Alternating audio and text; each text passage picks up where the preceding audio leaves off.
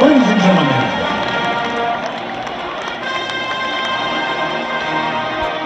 if your ball runs, ready?